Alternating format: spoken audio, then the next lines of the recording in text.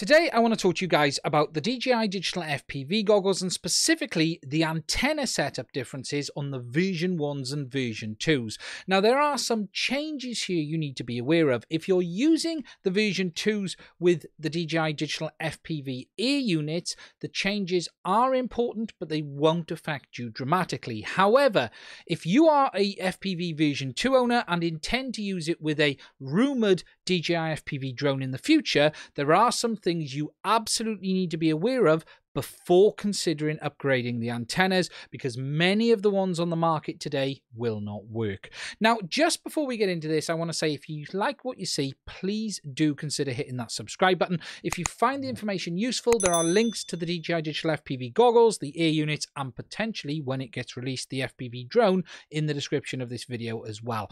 Anyway, let's get on with this. The first thing we're going to do is take a bit of a look at the differences between the FPV version 1s and version 2s, and then explain the antenna differences and some important information about upgrading those antennas as well. Okay, so taking a closer look at the goggles themselves and then the differences between them. Both sets of FPV goggles, version 1 and version 2s, have 810p displays, which are 1440 by 810. They both have a built-in DVR and they both have a 4-antenna MIMO setup. However, the version 2s have a different setup to the version 1s, and I'll talk about that a little bit more in a minute. Both goggles can control the system over the air, i.e. control settings on the air unit, and they can bind up to 5 air units plus audience mode when in use. They both can have a video output option, but it is different depending on if it's the V1s and V2s. They both support analog video input via a 3.5mm jack, but there is no analog receiver in either the version 1s or the version 2s. Both goggles support focus mode as well as all the other features that the DJI drones have. Taking a closer look at the specific differences between the version 1s and version 2s, the V1s and the V2s support OcuSync 2, whereas the version 1s supported 5 GHz, the version 2s can support both 5 gigahertz and 2.4 gig. Now, all of the DJI Air units use 5 gig only, and whilst the version 2s now have this new option to work on 2.4 gigahertz, this is for future use with an alleged FPV drone. The current air units do not support 2.4 gig, so when you are using the version 2s with the FPV air units, they will simply be on the 5 gig only. And this is something important you need to remember as we move on to talking about antennas later. They both, as I've said, have 810p screens. The version 1s supported 2 to 4S power, whereas the version 2s are 2 to 6S, and DJI give you a battery with the version 2s, which they didn't with the version 1s. The version 1s had HD FPV at 720p up to 120 frames a second, and the new version 2s can support that up to 8 10p. So what they've done is moved the FPV resolution up to the native resolution of the displays. Both goggles are compatible with all air units, but only on 5 GHz because there are no 2.4 gigs models, and both can have a form of video out either via the smart controller or via USB. I'm not going to touch on that too much in this video, but it is something we'll touch at on more videos in the future. However, the version 2s have a new feature that can share via a smartphone. Now, moving on to the antennas, and this is where things get a little bit more complicated, but I'm going to try and explain this as simply as I possibly can. Now, taking a look at the version 1s first of all, it is a four antenna setup, as I've already said, and it has three antennas which are capable of TX or RX, and one antenna which is fixed RX. So the bottom right antenna will always be receive only. That antenna never changes and will always be just a receiving antenna for the signal. You then have antenna 0, 1, and 2, which can be either TX or RX depending on what the system chooses. And the goggles will actually choose a pair of these antennas to use depending on the signal quality basically diversity.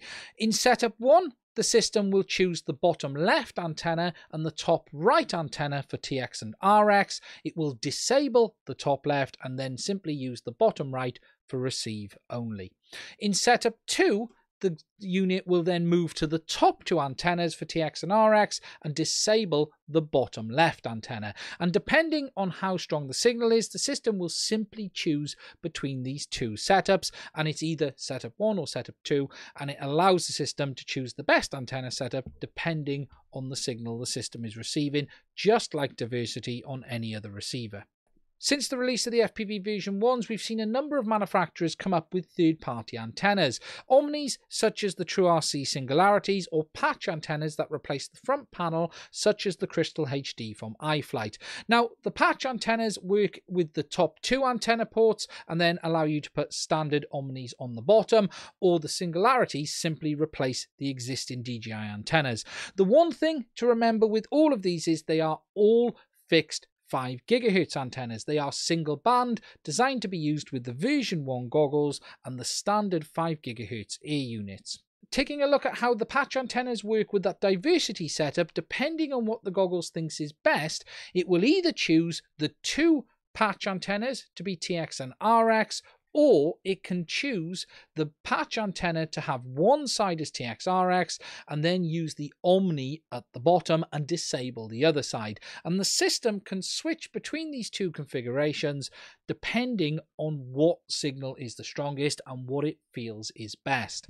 Now, the nice thing about this setup is it gave you the best of both worlds. You could have a single patch on TXRX whilst having a single Omni and then have the final Omni on receive, or it could switch around and put both patches on TXRX and then use just the Omni for receiving. And again, it will choose this based on the diversity setup within the receiver.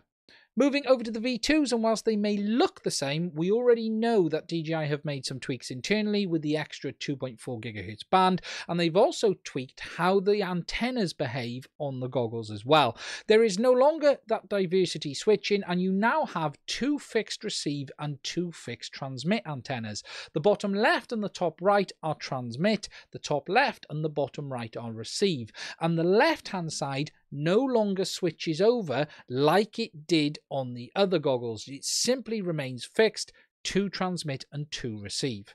Now, looking at how this will actually work with existing patch antennas, it is going to mean a slight change in behavior. Whereas before, the diversity on the version 1s could choose either between both patches, being TX and RX, and the one Omni for receive, or choose one Omni receive, one Omni TX RX, and one patch only. On the version 2s, though, it's going to remain in that last setup.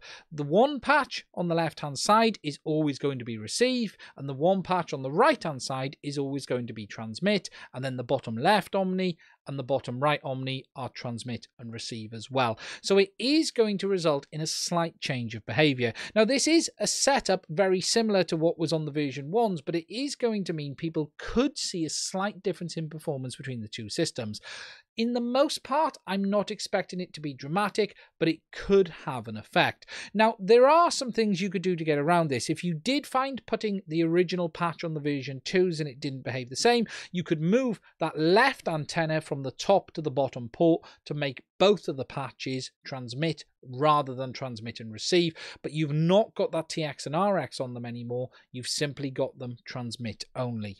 Now, the other big thing to take into account with this is the frequency. As I've already said, all of these patch antennas are designed for 5 GHz only. The new Vision 2 goggles can support both 2.4 and 5 gigs. Now, if you're someone using the Vision 2s with just FPV, this really isn't going to be a problem because the FPV units are only single band on 5 gigahertz as well. However, if you're someone who's going to buy the version 2s and use them with this rumored DJI drone and use them on 2.4, if you were to fit a patch antenna, you could actually have major signal problems. The antenna, whilst would work, it's not designed for that frequency band. And depending on what you did with the bottom antennas, you could have close to very little range at all. If you left the original DJI antennas on, you would probably okay because the originals are actually now dual band and whilst they look the same as the version 1 antennas. They are not. The version 1s are 5 gigs only. The version 2s are 2.4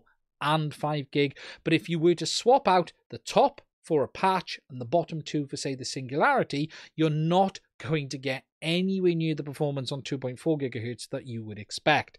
So if you're someone who is buying the version 2s to use with the digital FPV system, you'll be okay. But if you're going to buy a set of version 2s and fit a patch antenna and use it with the DJI drone, it is not going to work. And at this point, do not upgrade. Now, the chances are there will be new patch antennas designed for the version 2s in the near future, which again support 2.4 and 5 gigahertz. However, there is always a compromise in these things, and having an antenna that is dual band may not perform quite the same as an antenna which is designed specifically for one. Now, it's going to be interesting from an FPV point of view how these patch antennas work on the version 1s compared to the version 2s. You can always get a small fly lead and extend the antenna cable, or the chances are there might be enough antenna cable to actually move it to the bottom already, depending on what antenna you're using.